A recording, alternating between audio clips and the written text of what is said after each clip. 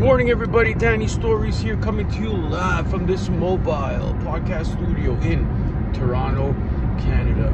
Today, I turned the camera around because today's message is sincere.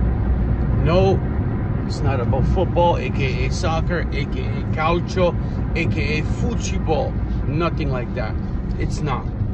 It's about our true loves. It's about the most important lady in our life, the first most important lady in our life. It's about our moms. Please, yesterday was Mother's Day. To all the mothers that are gone now, that passed away already, that uh that aren't around. My my prayers to you 100%. To any friends of mine on YouTube that I've lost a mother or, you know, or the mothers are in rough shape or they're getting older now or whatever you know prayers prayers. I uh i'm gonna tell you guys something. I might look like a rough and tough and tumble guy around the corner but boom! All up in the boom! Up up in the grill. But let's be honest all right? I'm a softie i'm a softie for my mom. I love her so much. When i was young growing up I always loved her. Like, unbelievable love for her. She was just, and still is. I'm so blessed to have her around still, and I cherish every moment. Remember that. But when I was young, there's one thing I never did. I never did it. I never said I love you to her. Never. I probably said it. I just don't remember saying it, and if I did, it wasn't many times. Even to my father, I never said it either. You know, growing up, our parents are, are disciplinarians. I hope I said that right. And you know, even though you love them, you have that resent inside of you. Like, why are they always stopping me from having fun? Why don't they want me to have fun? Why don't they want me to do this? Why don't they want me to spend lots of money and party and do whatever? Now, as a father of two, I call them my babies, even though they're growing up now. They're still very little. My uh, son just turned four, and my daughter six.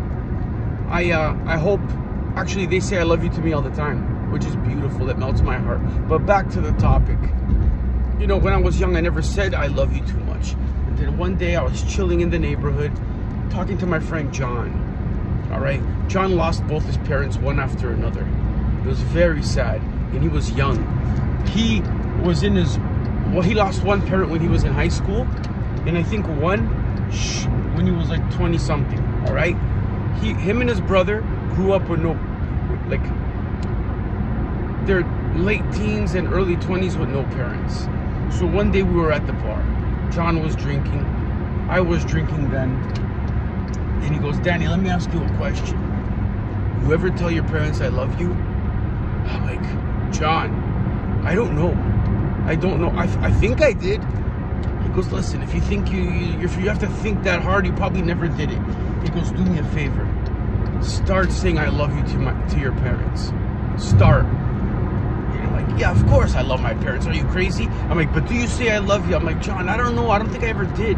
It's not easy for those words to come out. And he goes, I know. He goes, I'm the same as you. It's just hard to say I love you. You know, there's uh there's parents that don't even say it a lot either. But they love you, of course. Your parents love you. Of course they love you. But what I'm saying is that John said to me, listen, you know both my parents are gone, right? And I'm like, yeah. He goes, I never told them I love you, that I can remember. And it tears me up every day. And John was crying. He had tears in his eyes telling me this at the bar. John was a tough mother effer, big dude. He'll slap all, he'll slap someone's head right off their neck. He's a, just a tough guy, but a good guy. But no slouch, no, no punk. He had tears in his eyes at the bar. And then I teared up too. You know what I did the next day? I gathered up the courage and I told my parents I loved them. They were like, they, they thought like, whoa, what's going on? Are you in trouble? You know, are you going to jail?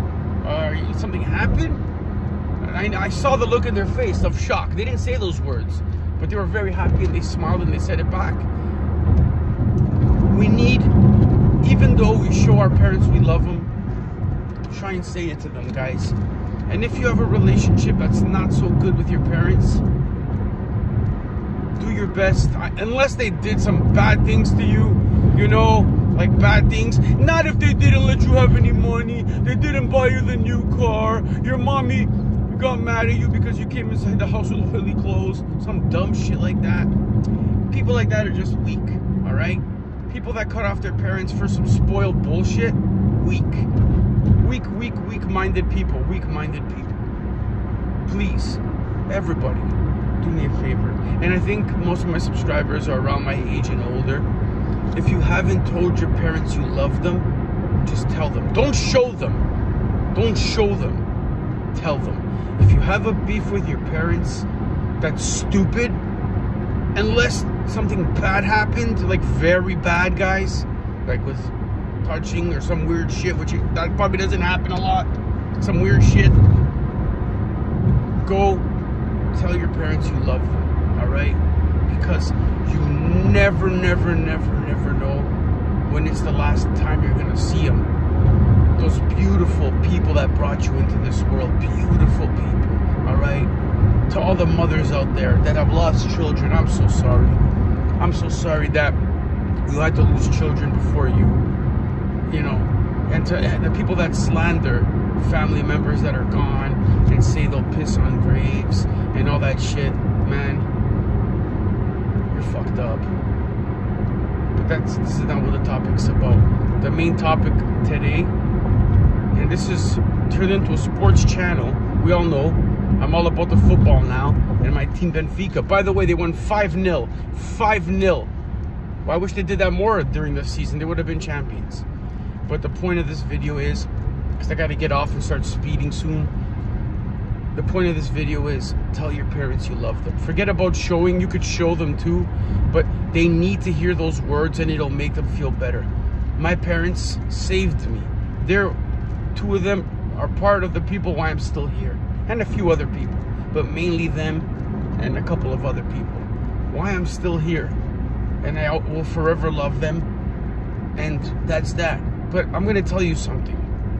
You don't have to say nothing in the comments if you did or you didn't. And I'm sorry, I'm not the greatest at responding to comments. I have a good comment crew here, and there's a, they, my comments are active, and I love it. I have a good communication with a lot of my subscribers. You don't have to if you don't want to today. And I'm sorry if I don't respond right away. I do my best. But please, please, just go and tell your parents you love them. If your parents have cell phones, even text it to them. Leave a voicemail. Do something. They'll appreciate it. They'll appreciate it, guys. It's almost like that's that closure in life that you need. You have to tell them you love them. All right? If they never did you wrong, wrong, like bad, bad, wrong. Not some bullshit, spo you're a spoiled kid and you're mad at them wrong. No. Be a man, grow up. Be a woman, grow up. If you're not, if you're mad at your parents because they didn't buy you a car when you were 16, you're a clown. Straight up clown. Clown. But tell your parents you love them, all right? Because we don't know what happens to us after, in the afterlife. We don't know if we'll ever see them again. So the time is now. All right, people, that's it for today. Danny Stories is out. Other than that, Benfica won 5 nothing. A lot of things going on in the Jandra right now. You guys probably thought I was going to talk about it today. You know, I think everybody did a good job talking about it already. Uh, I obviously don't like bad things, and I'm about family, and I'm about a bunch of stuff like that. So, for that, that's it. My next video will be about soccer and how much, I don't know, we'll figure it out. But for now, guys, stay safe please, I'm begging you, if you haven't, tell your parents you love them, all right? And have a great day. Happy Mother's Day to all the beautiful ladies out there.